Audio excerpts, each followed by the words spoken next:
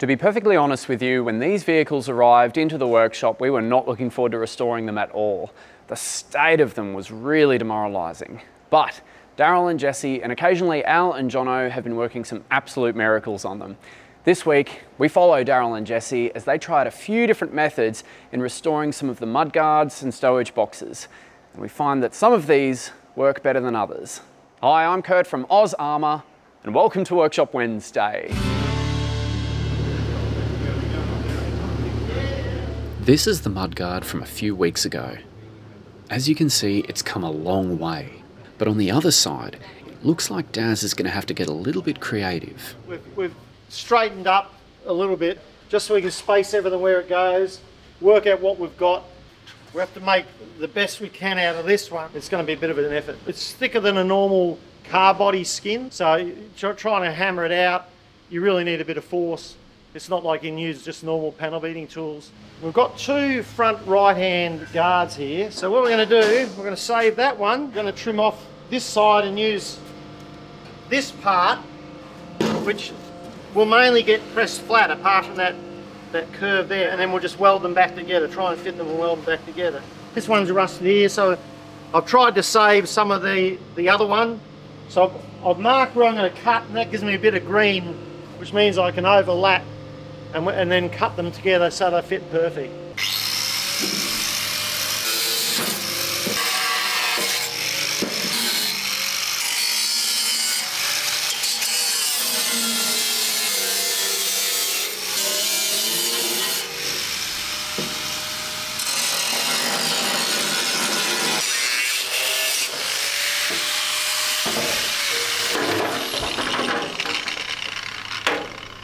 Now I know I know it looks a bit awkward in what I'm doing, but I believe this is the best way to do it.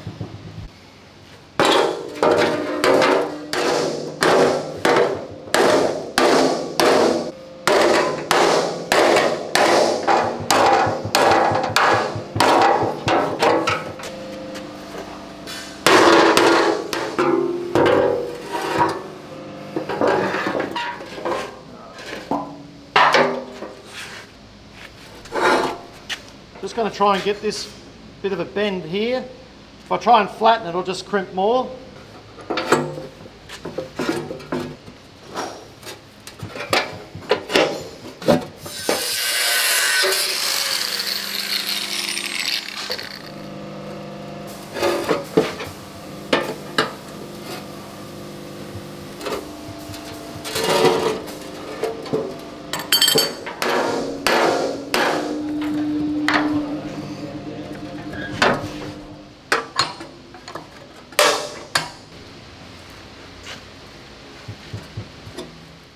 For your information, that's not Daryl's heart palpitations you can hear.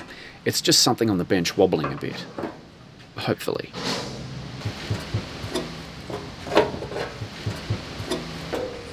Because that's a really tight bend, I think I might end up put some heat in it, just to help it you know, relieve some of the pressure on it.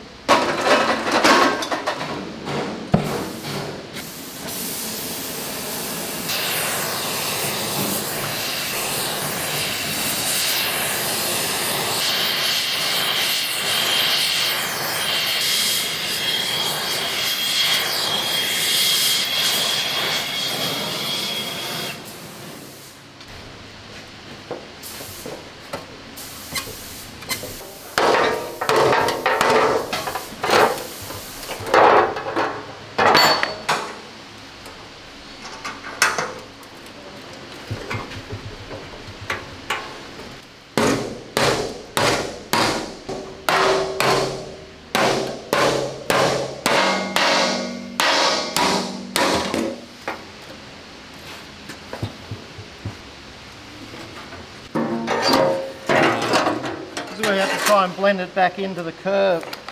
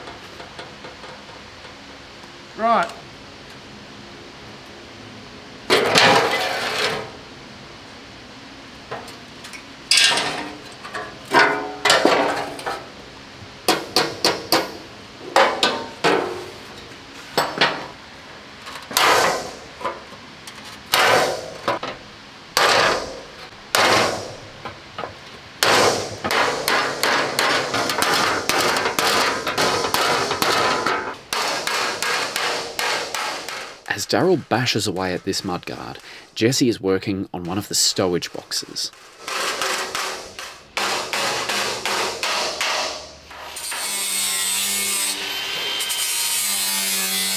It's all twisted and, and bowed across the middle here. You can see it was all pushed in. Yeah. I've had to put it in our press and press it square. So the angle's out a little bit, but I'll fit it in there and just move it along. I'll tack it, tack it in there and then pull it out, spread it, move along, spread it out, open it.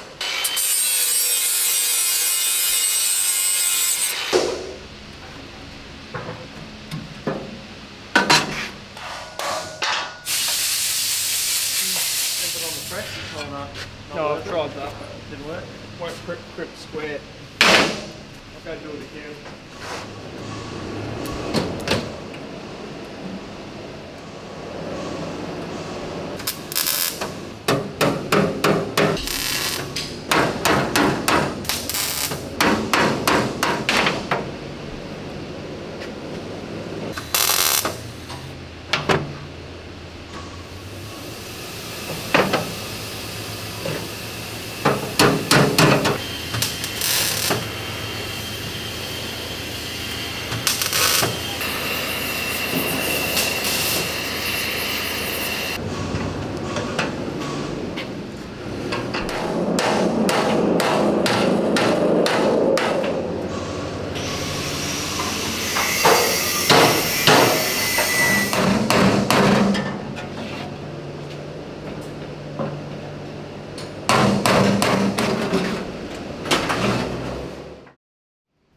After a few days, Daryl has wrestled the two pieces of the different mudguards into shape. There's still the rest of that circular top part to do, but he'll get onto that later. These vehicles have four lifting eyelets, but one of them has been torn off. Jesse's taking a break from his stowage box and is getting stuck into repairing this.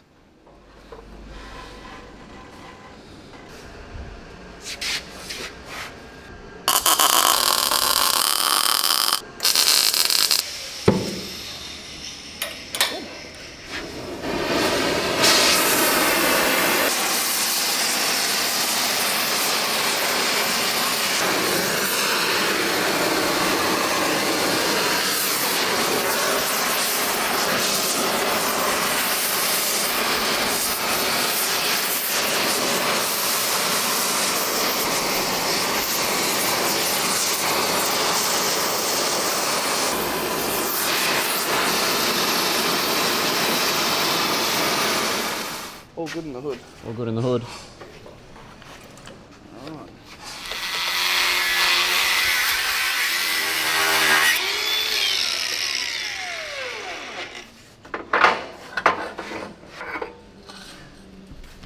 Still warm. Very, very warm. Meanwhile, Daryl is taking on a different stowage box just to mix things up a bit.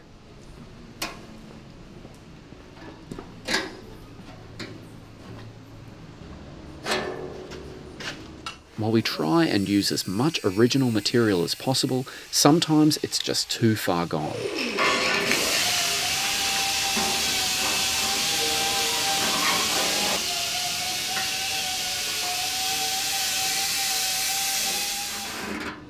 Check twice, cut once.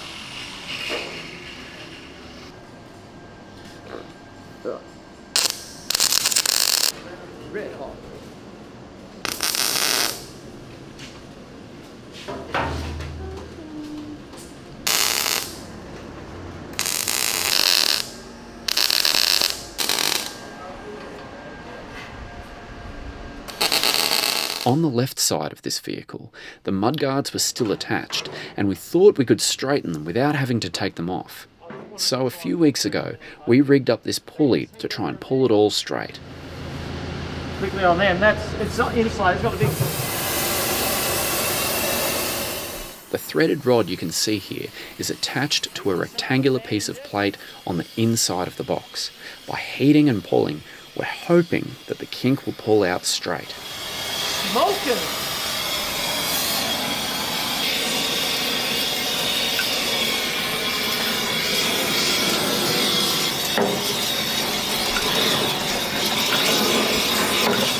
Yeah, that's our. It's not quite pulling where we need it to, so the boys have to make a few adjustments to their setup.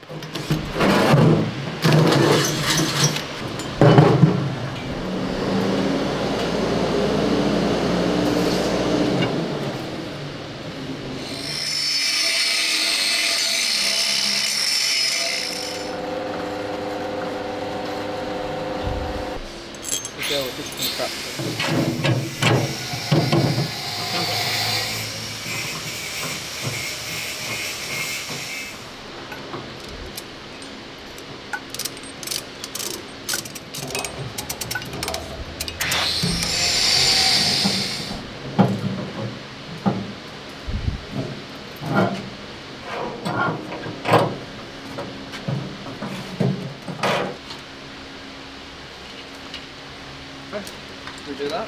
Tear the turret off. Yeah. I don't know if that's even going to go in there. Going down this or what? Yeah. We need to chop our wheel. Oh, God. We're gonna long man, I'll start. And under, under there too, so yeah. There too? Yeah, just want that.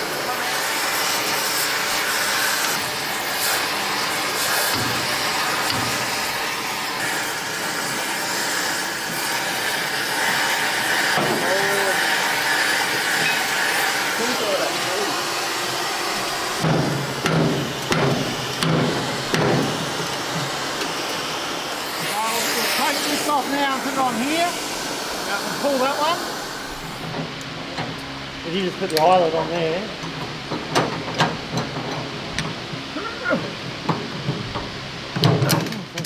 You, are- you judge it from there. How far out? Here you go. A little bit more. Yeah. Promise. I'll give it a hit here.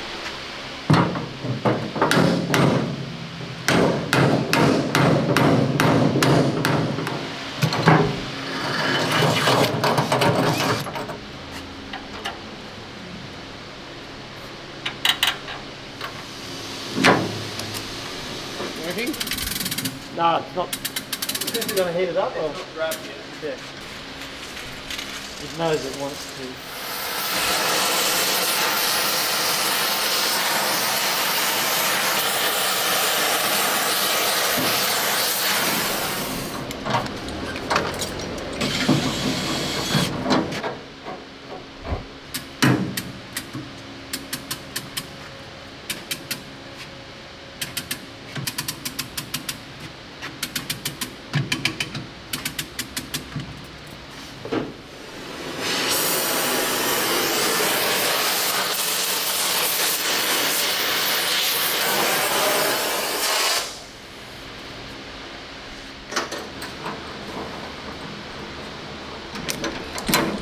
go.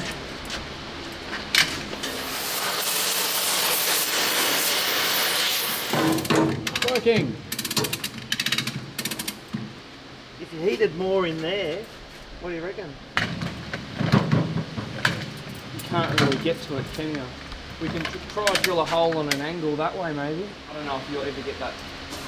Well, the only other thing is, all right, if we take that box off, for this one here, why don't we just cut that corner off and straighten that corner and weld the corner back on where it is? Yeah. Because, and it, see that other one where your head is? Oh, There's his head there. We can put Oh, a panel beat that. That's that's fine. That one doesn't even look that bad. Battle damage. Yeah, that one there. That might go. We'll just cut from here across, rip that off, and I'll straighten it and re- re-weld it back on. Yeah, like, you, all this how it like you go in about 150 mil there, Yeah. you cut across and down, I'll just do what I did on the other side. and then you just, then you can get in behind that and press that out.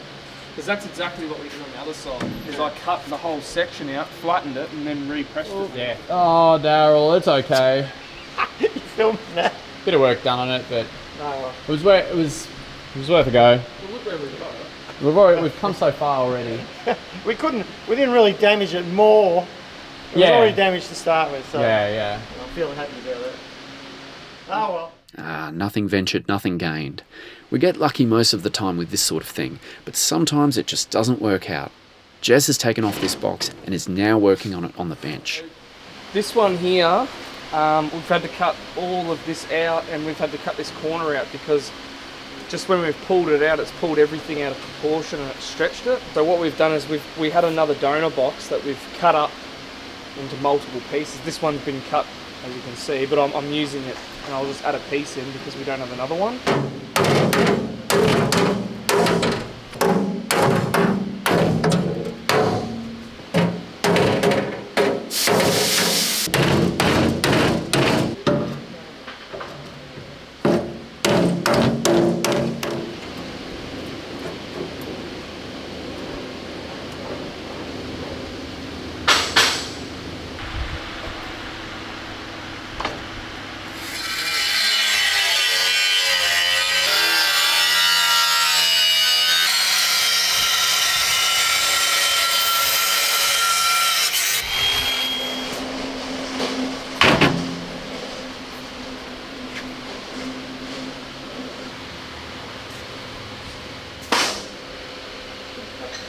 Up